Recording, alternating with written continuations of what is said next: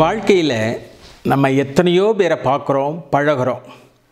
ஒருத்தர்கிட்ட ஈத்தாப்பில் உட்கார வச்சு பேசுகிறோம் அவர் நம்மளை எந்த அளவுக்கு நம்மளை அவர் மனசில் வச்சிருக்கிறார் நம்ம சொல்கிற விஷயத்தை ஏற்றுக்கிறாரா இல்லையா அப்படிங்கிறத அவரது கண்களை பார்த்து அந்த கண்ணோட்டத்தை வைத்தே நாம் அவர் மனதில் உள்ளதை நாம் கண்டுபிடிச்சிடலாம்.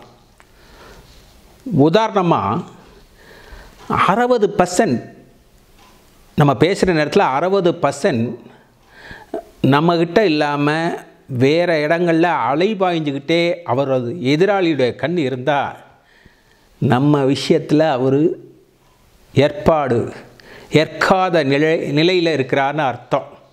அதே சமயத்தில் நம்மள்கிட்ட பேசிக்கிட்டே பக்கவாட்டில் அப்படியே இப்படியே பார்த்துக்கிட்டே பேசிக்கிட்டே இருந்தார்னா அவர் பேசுகிறது ஒன்று ஆனால் நினைக்கிறது ஒன்று அப்படின்னு நம்ம எடுத்துக்கலாம். அதே சமயம் அகலமாய் விரிந்தால் நம்ம பேசும்போது அப்படி அகலமாக விரித்தார்னா நம்ம பேசுகிற விஷயம் அவரை ஆச்சரியப்பட வைக்குதுன்னு அர்த்தம் அல்லது அவருக்கு மட்டும் தெரிஞ்சிருக்கு அப்படின்னு நினச்ச நிலையில் நம்மளுக்கும் அந்த விஷயம் தெரிஞ்சு சொல்கிறோம்னா உங்களுக்கும் தெரியுமா? அப்படின்னு சொல்லும்பொழுது ஆட்டோமேட்டிக்காக அந்த கண்கள் எதிராளியுடைய கண்கள் விரியும் அகலமாக விரியும்.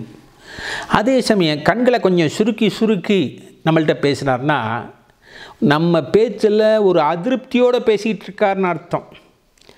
அதே சமயத்தில் கீழ் நோக்கி ஏ பேசுகிறார் முகத்தை நேராக காமிக்காமல் கீழ் நோக்கியே வச்சு பேசுகிறார் அப்படின்னா ஏதோ சோகமாக கவலையான நிலையில் இருக்கிறான்னு அர்த்தம்.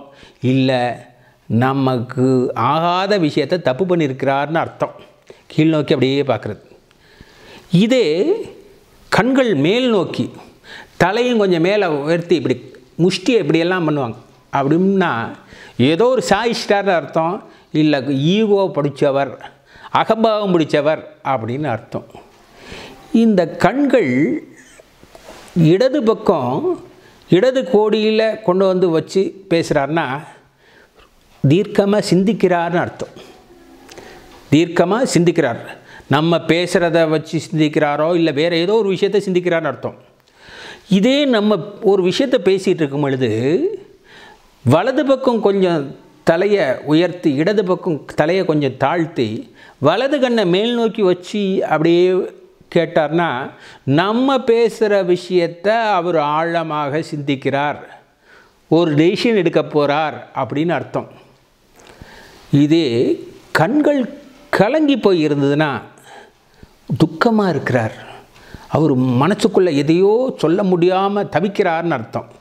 இப்படி கண்களின் ஓட்டத்தை வச்சுக்கிட்டே எய்த்தாப்பில் இருக்கிறவருடைய மனோபாவத்தை தெரிஞ்சுக்கலாம். நம்மளை எந்த லெவலில் அவர் டீல் பண்ணுறாருன்னு தெரிஞ்சுக்கலாம்.